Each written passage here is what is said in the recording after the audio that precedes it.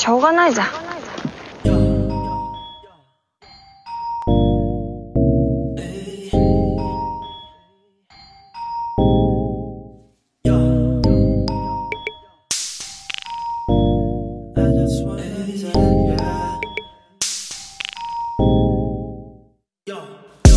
너를만난게잘못이었던걸까 509번 버스 안 네가 생각나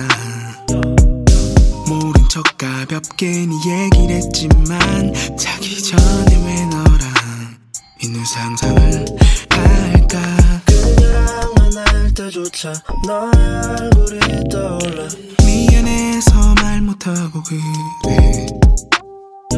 미소에 때면 내 자신이 미워져 도망가고 싶어져 시발댐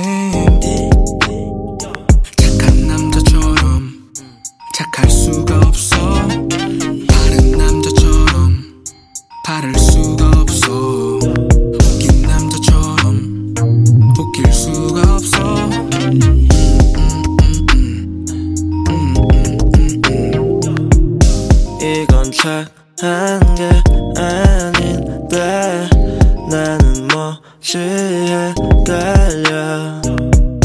밥 안 먹어도 난 채해.